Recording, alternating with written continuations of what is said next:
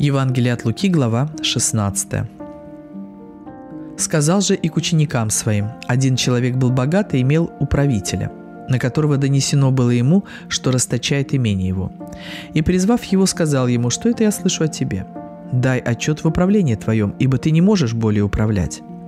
Тогда управитель сказал сам себе, что мне делать? Господин мой отнимает у меня управление домом, копать не могу, просить стыжусь. Знаю, что сделать, чтобы приняли меня в домы свои, когда отставлен буду от управления домом. И призвав должников господина своего, каждого порознь, сказал первому, «Сколько ты должен господину моему?» Он сказал, «Сто мер масла». И сказал ему, «Возьми твою расписку и садись скорее напиши, пятьдесят». Потом другому сказал, «А ты сколько должен?» Он отвечал, «Сто мер пшеницы».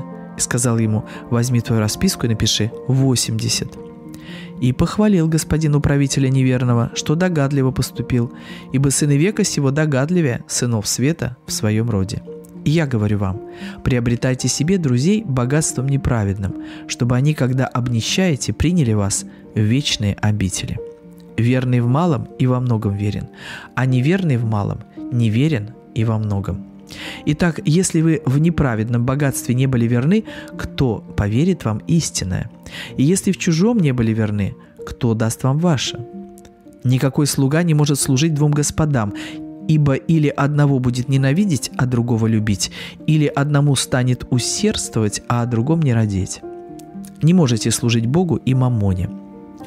Слышали все это и фарисеи, которые были сребролюбивы, и они смеялись над ним – он сказал им, «Вы выказываете себя праведниками пред людьми, но Бог знает сердца ваши, ибо что высоко у людей, то мерзость пред Богом». Закон и пророки до Иоанна. Сего времени Царствие Божие благовествуется, и всякий усилием входит в него. Но скорее небо и земля придут, нежели одна черта из закона пропадет. Всякий, разводящийся с женою своею и женящийся на другой, прелюбодействует – и всякий, женящийся на разведенной с мужем, прелюбодействует.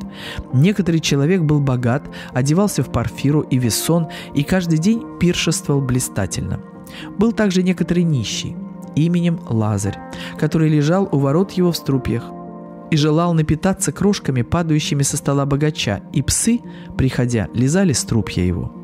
Умер нищий, и отнесен был ангелами на лона Авраамова. Умер и богач, и похоронили его – и в аде, будучи в муках, он поднял глаза свои, увидел вдали Авраама и Лазаря на лоне его. И возопив сказал, «Отче Аврааме, умилосердись надо мной, и пошли Лазаря, чтобы омочил конец перста своего в воде и прохладил язык мой, ибо я мучаюсь в пламени сем». Но Авраам сказал, «Чада, вспомни, что ты получил уже доброе твое в жизни твоей, а Лазарь злое. Ныне же он здесь утешается, а ты страдаешь». И сверх всего того, между нами и вами утверждена великая пропасть, так что хотящие перейти отсюда к вам не могут, также и оттуда к нам не переходят.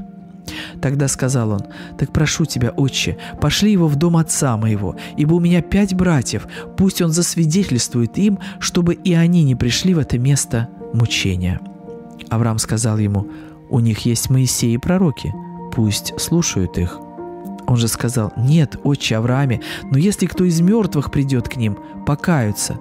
Тогда Авраам сказал ему, если Моисея и пророков не слушают, то если бы кто и из мертвых воскрес, не поверят.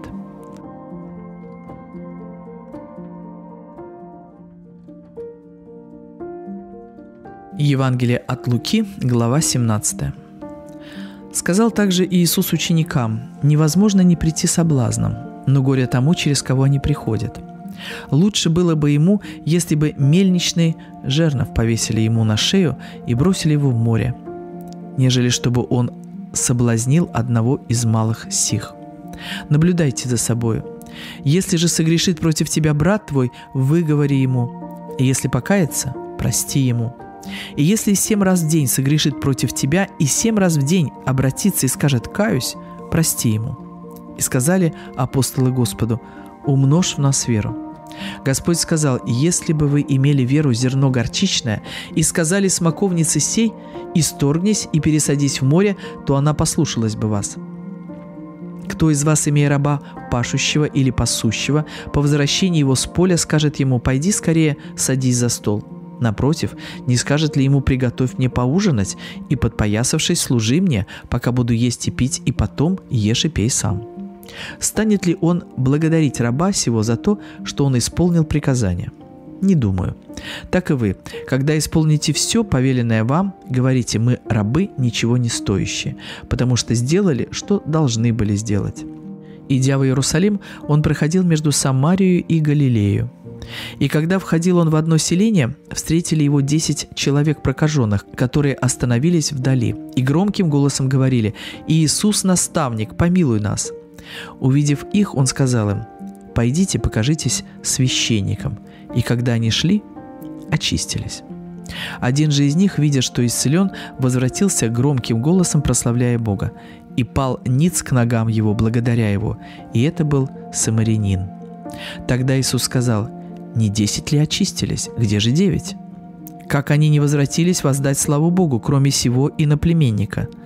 И сказал ему, «Встань, иди, вера твоя спасла тебя».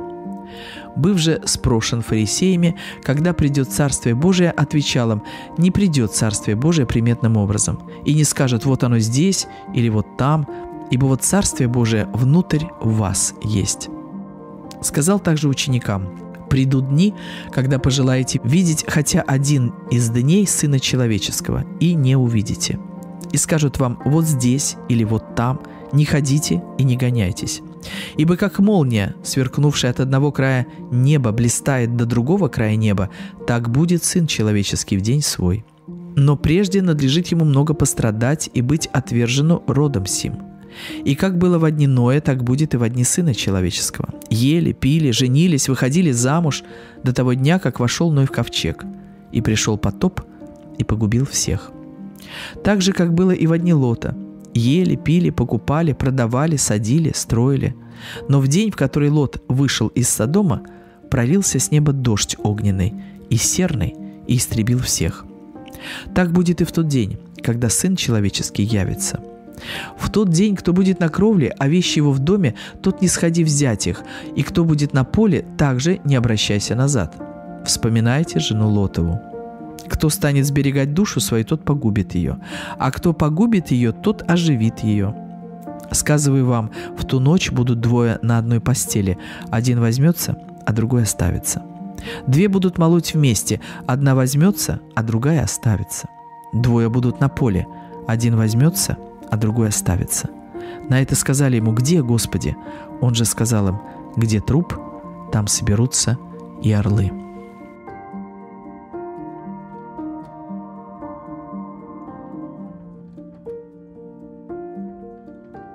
Евангелие от Луки, глава 18. Сказал также им притчу о том, что должно всегда молиться и не унывать. Говоря, в одном городе был судья, который Бога не боялся и людей не стыдился. В том же городе была одна вдова, и она, приходя к нему, говорила, «Защити меня от соперника моего». Но он долгое время не хотел, а после сказал сам себе, «Хотя я и Бога не боюсь, и людей не стыжусь, но как эта вдова не дает мне покоя, защищу ее, чтобы она не приходила больше докучать меня. И сказал Господь, слышите, что говорит судья неправедный? Бог ли не защитит избранных своих, вопиющих к нему день и ночь, хотя и медлит защищать их? Сказываю вам, что подаст им защиту вскоре, но Сын Человеческий, придя, найдет ли веру на земле?» Сказал также к некоторым, которые уверены были о себе, что они праведны и уничижали других, следующую притчу. Два человека вошли в храм помолиться, один фарисей, а другой мытарь. Фарисей, став, молился сам в себе так, «Боже, благодарю Тебя, что я не таков, как прочие люди, грабители, обидчики, прелюбодеи, или как этот мытарь. Пощусь два раза в неделю, даю десятую часть из всего, что приобретаю. Мытарь же, стоя вдали, не смел даже поднять глаз на небо, но, ударяя себя в грудь, говорил, «Боже, будь милостив ко мне, грешнику». Сказываю вам, что сей пошел оправданным в дом свой более, нежели тот. Ибо всякий, возвышающий сам себя, унижен будет, а унижающий себя возвысится. Приносили к нему и младенцев, чтобы он прикоснулся к ним. Ученики же, видя то, возбраняли им. Но Иисус, подозвав их, сказал, «Пустите детей приходить ко мне, и не возбраняйте им, ибо таковых есть Царствие Божие». Истинно говорю вам, кто не примет Царствие Божие как дитя, тот не войдет в него. И спросил его некто из начальствующих, «Учитель благий, что мне делать, чтобы наследовать жизнь вечную?» Иисус сказал ему, «Что ты называешь меня благим? Никто не благ, как только один Бог. Знаешь заповеди, не прелюбодействуй, не убивай, не кради, не лжесвидетельствуй, почитай отца твоего и матерь твою». Он же сказал, «Все это сохранил я от юности моей». Услышав это, Иисус сказал ему, «Еще одного не достает тебе. Все, что имеешь, продай и раздай нищим, и будешь иметь сокровища на небесах, и приходи, следуй за мною». Он же, услышав сию, опечалился, потому что был очень богат. И Иисус, видя, что он опечалился, сказал, «Как трудно имеющему богатство войти в Царствие Божие». Ибо удобнее верблюду пройти сквозь игольные уши, нежели богатому войти в Царствие Божие. Слышавшие ее сказали, «Кто же может спастись?» Но он сказал, «Невозможное человеком, возможно Богу». Петр же сказал, «Вот мы оставили все и последовали за тобою». Он сказал им, «Истинно говорю вам, нет никого, кто оставил бы дом, или родителей, или братьев, или сестер, или жену, или детей для Царствия Божия, и не получил бы гораздо более в сие время, и в век будущий жизни вечной». Отозвав же двенадцать учеников своих, сказал им, «Вот мы восходим в Иерусалим, и совершится все, написанное через пророков о Сыне Человеческом. Ибо предадут его язычникам, и поругаются над ним, и оскорбят его, и оплюют его, и будут бить и убьют его, и в третий день воскреснет». Но они ничего из этого не поняли. Слова сии были для них сокровенны, и они не разумели сказанного – когда же подходил он к Иерихону, один слепой сидел у дороги, прося милостыни. И, услышав, что мимо него проходит народ, спросил, что это такое. Ему сказали, что Иисус на заре идет. Тогда он закричал, «Иисус, сын Давидов, помилуй меня!»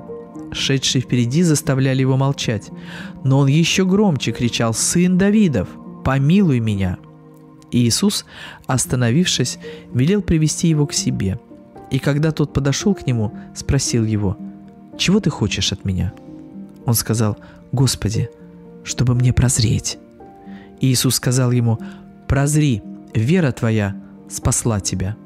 И он тотчас прозрел и пошел за ним, славя Бога, и весь народ, видя это, воздал хвалу Богу.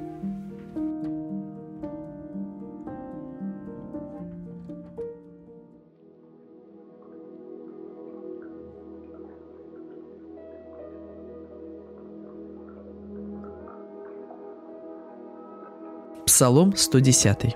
Аллилуйя. Славлю Тебя, Господи, всем сердцем моим, в совете праведных и в собрании. Велики дела Господни, вожделенны для всех любящих оные. Дело Его – слава и красота, и правда Его пребывает вовек. Памятными соделал Он чудеса Свои. Милостив и щедр Господь. Пищу дает боящимся Его, вечно помнит завет свой. Силу дел своих явил он народу своему, чтобы дать ему наследие язычников. Дела рук его – истина и суд. Все заповеди его верны. Тверды на веки и веки, основаны на истине и правоте. Избавление послал он народу своему, заповедал на веки завет свой. Свято и страшно имя его. Начало мудрости – страх Господень. Разум верный у всех, исполняющих заповеди Его. Хвала Ему пребудет вовек.